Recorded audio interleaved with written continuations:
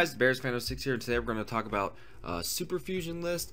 We're going to go over, um, for the most part, my top five uh, Super Fusions out of each list. Um, but on defenderoftexel.com, and I'll put a link right here and also in the video description, uh, Wanderer TJ has a great Superfuse uh, fodder list uh, available. I use it all the time. When people ask me what fodder they should use, um, I do uh, link them his list as well. Um, so if you have uh, an account on defenderoftexel.com, uh, just give him a, a, vote up. Well, they call it reputation. So give him a plus one in reputation uh, for all his hard work keeping that list up to date and creating it. Uh, it's an amazing uh, information tool for superfusing, and uh, you guys have to check it out. There's way more on the list than what I'm going to talk about, but I just want to go with some of the top ones that I like. Um, and for each category, I will go over basically the the the top end one. Now, these are fodder fighters, not fighters that are, are typically going to be um, always used. I mean, clearly you can get um, some of the legendaries and you could get 3 out of 3 or 2 out of 2 and you could superfuse them for more of the stat, but that's not what we're talking about. We're talking about fighters that you would uh, theoretically use if you weren't crazy um, to waste something that's actually a good fighter. But uh, so we're going to go ahead and get this started. We're going to go with attack first. Um, as you can see, I finished up with wisdom last. So that's what was left over there. Um, so the first fighter we're going to talk about is uh, Cadmain. Uh, Cadmain is a pretty amazing uh, attack fodder. He is the highest one that uh, TJ recommends, which would be 721 attack. Uh, overall, that's that's a, a great amount of attack. Now, he is the top end, so he's going to be fairly expensive. So to purchase one of them uh, is roughly about 120 bidders. I went through the search offer and, and basically gave a rough estimate. Um, some it might be a little bit less, some it might be a little bit more, depending on the time and, and uh, how many of them are left at that point, because other people are superfusing them, using them as fighters, and etc. So pricing does fluctuate. Next one, um, this one is probably my personal favorite um, right now, is uh, Tauren. I used him several times for attack fodder, and uh, I'm blind and cannot find him. Where are you, buddy? Typically, this sort of attack works. I don't really want to sort by another one. But, uh, give me a sec. There he is. Hiding down there. Uh, Tauren. Now, the awesome thing about this is he's still pretty much readily available, and I didn't want to click on it. Um, for the most part, because he was in a recent event, which makes him easier. Tauren adds 590 attack, um, which actually, this is what I superfuse my Dread with uh, 590 attack for each one. Uh, he's roughly about 40 bitters right now for him, which is great. Uh, that's a lot of attack for, for a very low price, in my opinion, um, which is pretty amazing. Uh, the next one in my attack list is Luck Draw. Luck Draw adds 560 and he's air. Now, Luck Draw is roughly around 540 bitters, or not 540. He's roughly around 40 bitters as well. Uh, so obviously you'd buy Torn right now. Now the plot, the positive about Luck Draw is he's in Pixite, so he'll still be readily available, and his price is pretty much stabilized to where it'll be. Um, it won't really go any more, any less because basically he's the the fallback attack fodder if you need attack fodder uh, at a at a solid price. The next one we're going to talk about is Ishum. Uh, he has 520 attack and that is the red dog and I don't think he's on page three. Might be on page three. But he has a total of 520 attack. Uh, the nice part about him is he just came out a little bit ago which is awesome. Um, he does have dual purpose uh, for attack or wisdom really to be honest with you. Um, price wise is great. Uh, he's only roughly around 20 bidders. um, this one's solid right now. I, in my opinion I would definitely purchase this one currently. Now unless they re-release him, uh, his prices will eventually go up, which will make him more expensive, unfortunately. But right now, cost-effective wise, if you're not rich, uh, he might be one of your better options to go with. And last one is uh, Tiamat. This guy here is good too because he's in Pixite as well. So he's still readily available. Um, I've seen him for roughly around like 15 to 18 bitters roughly. Uh, he has 462 attack. Um, so he's who I rank last in my in my top five for attack. Um, probably for the most part, I would either buy Torin or I'd buy the Red Dog Ishum. Um, those are my two favorites um, out of the attack right now. For HP, let's go to HP. Uh, the king of HP is is Grim Penis, obviously. Um, you could buy Uzdabar, the emulator guy. Unfortunately, he's way better uh, used for uh, Raid Boss and Siege, so don't buy him and waste him. Um, but Grim Penis adds 702 uh, HP, which is amazing. Uh, and uh, he's roughly about 100 bitters, so he is fairly expensive, but uh, his amount of HP he adds is a really, really good amount. Um, now, he does have a counterpart, though, that barely adds less HP uh, for a lot less in price, which I would personally purchase this guy over uh, Grim because of the price, basically. So where is he? Did I already pass him? Probably already passed him. He should be... There he is. The recolor of the polar bear. So, Mimutan. Uh, he adds a total of 673 attack. He's only roughly around 60 bitters. Definitely way better off buying this guy, uh, for sure. Because, it is what is it? It's like 30 roughly. Basically, it's 29 exactly. 21, 29 HP difference for 40 bitters. Um, that's more than a bitter HP. Not worth it, in my opinion. Um, this guy is this guy is my favorite in the HP category, hands down, um, for Epic because he adds a lot. He's not very expensive. Um, at least, I mean, some people he's very expensive, but to me, I think he's the best bang for your buck. Next, we're going to go to um, one that's in Pixite. So the good thing is he's still readily available quite often is Bronzenail. Um, he's a good beginner uh, beginner champion for people to use, but uh, he's also really good for Superfuse HP.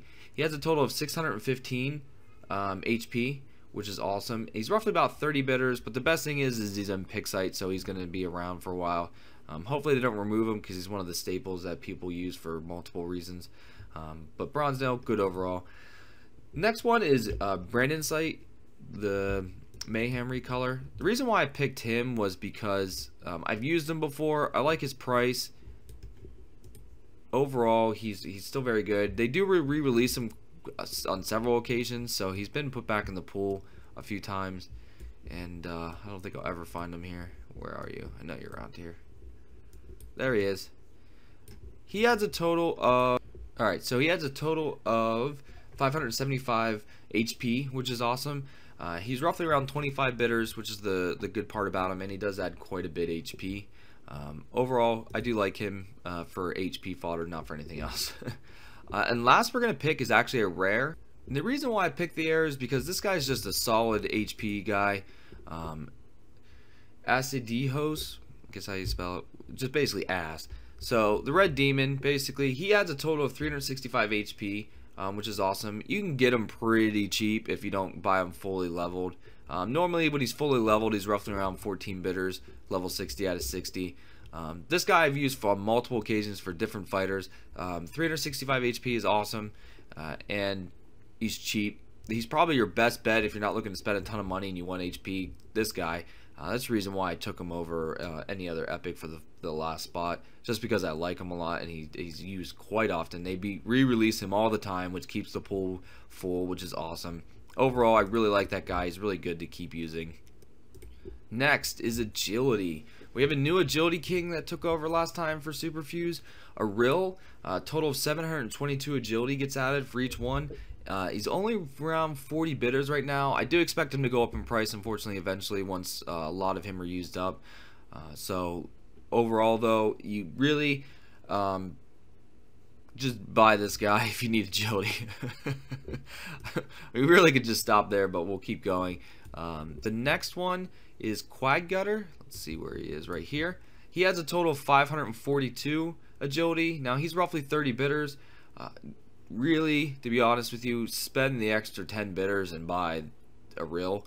Um, but for right now, that's the case. Maybe later down the road, Quag Gutter will still be cheap and a Rill will be quite a bit more expensive. So for right now, um, I'd still go with a Rill over Quag Gutter, but I think in the future that could potentially change, which is reason why I decided to put Quag Gutter in there. Uh, next one is Kikavol. Uh, awesome thing about this, he's in invite ID right now, so they put him back in there for us again, super fast. He has 518, and he's only around 12 bidders. So this guy, bang for buck. Uh, this is probably one of your best ones because he's super cheap right now. I don't expect him to stay at that price forever or very long. Um, if you need some agility fodder down the road, you might want to grab maybe three of them now because he's only around 12 each, uh, roughly. And honestly, I might buy a couple too just to have. That's really cheap. Um, the next guys, honestly, they don't even matter because they're literally uh, outclassed by Kikoval right now, being the price-wise. But um, the recolor of the Firebird, Uruku, Rusu, however you want to say it, he has 466 agility. Now he's roughly 25 bitters. Um, so really, like I said, you wouldn't really buy him. You'd really buy the other one. But maybe down the road that'll change when he's more expensive. And last one, I picked another rare, and for the same reason, um, it added quite a bit of agility. Uh, and this fighter basically is almost free. It's you really don't even have to pay much for it. So, Evan Glory, honestly, you probably have a couple already. They're super easy to get from Pixite. Um, people literally try to get next to nothing for them. I've seen 5 out of 5s up for one bidder. Um, so, you pretty much can get these for pretty much nothing. Um, it actually probably costs you more to level them, to be honest with you, than it does to uh, than it does to actually buy them. Um, because I actually go through trades and I look for people that have level 60 out of 60 rares up, and I do purchase them. Uh, they are amazing XP fodder when you don't have it. I usually buy them for anywhere from uh, one to five bidders, depending on how high level they are. Um, but getting off track there. But Evan Glory adds 245 uh, agility, and he's basically free. Um, if you want to superfuse something with agility, but you don't want to really spend money, just either use the guy you have because you might already have a couple of them, or just buy one for super cheap. Don't overpay for this guy. Literally, you can get them practically free. uh, next category, uh, wisdom. Um, but to who wins the the agility one? It would be Kikoval. He would have to be the winner there easily. Um, being so cheap right now and adding over 500 agility is awesome. Uh, wisdom, wisdom. I unfortunately only have four players for. Um, the reason why is because uh, the last one pretty much wins the boat uh, because of the price. But uh, pineapple, uh, which her real name is uh, Pinpelia, Panpelia, Pin Panpelia, something like that. Anyways, she's the queen now. She has 847 wisdom. But she's not cheap because uh, she roughly costs around 150 bidders. Roughly, there wasn't really any five out of fives up. I just had to go off of what was price wise.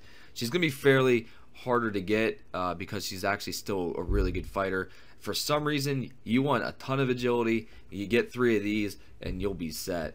Um, that would be basically what I would suggest doing. Um, next one is uh, Wendelin Rose. She had 635 um, she's roughly about 80 bidders. This one's a little bit more acceptable price-wise, so you're not uh, breaking the bank to get some of them. Um, reason why she's still kind of high in price because of the fodder and she has use. Uh, the next one is pretty easy.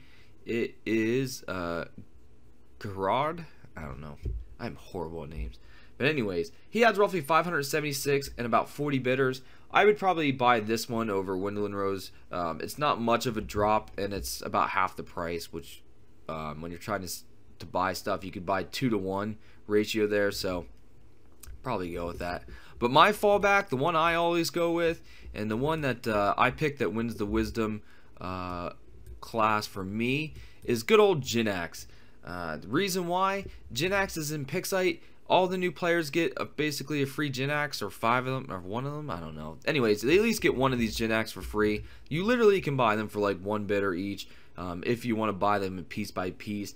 You can typically buy a 5 out of 5 for 10 bidders. You typically can buy level 80 out of 80 for uh, 20 bidders. So if you don't want to waste uh, fodder uh, leveling it up you can just basically buy them for 20 bidders each. 479 wisdom uh, is amazing um, well not it's not amazing amazing but to me it's good enough for me because the price is so low. I love uh, Jinax so that's what I go with. And lastly defense. Unfortunately defense is really hard. Um, it, it is a really tough category and I don't know what to tell you. Um, because there's several here. I mean these first guys here you could use. This guy hard to find. This guy's hard to find now. Bittner's hard to find uh, you can buy this guy, but he's expensive because he's used in events. He's an exploder. Um, this guy is hard to find. So I mean, it's like it's like, man, what do you do? What do you pick? Um, we're gonna go back to the first place person in a little bit because it's actually one of this event's fighters. But um, I basically had to go with three. One I went with was uh, this guy here, the Green Firebore. He had 630 defense. He's roughly 30 bidders. Uh, this one's probably about your best option, um, as well as the the pink blob dude, uh, Legolas. We're gonna call him that. Uh, 575 defense, and he's only about 20 bitters. This one's probably about what you want to go with, to be honest. But if you need some defensive powerhouse and you need some defense on a guy for some reason, this is your guy. This guy adds more super fusion than any guy on my list, and we all know who I'm already talking about. Um, it is uh, par uh, not Parvez, it is Baraz's mount, and we're not going to scroll here, so it's going to take a minute. It is uh, Teucer. He had 926 defense. Insane. It's an insane amount. Price wise, I have no clue how much he's going to cost, guys. Um, just have to wait and see. Uh, if you want a defensive champion, you go with that guy. If you need defensive superfuse fodder and price is not uh, in the equation, then you go with Teucer. Uh, he's ridiculous and amazing. But that's it for my super fusion list, guys. Um, I know you guys were waiting for this for a while. A lot of you, like I said, I direct you to Wanderers TJ's uh, thread because it's amazing.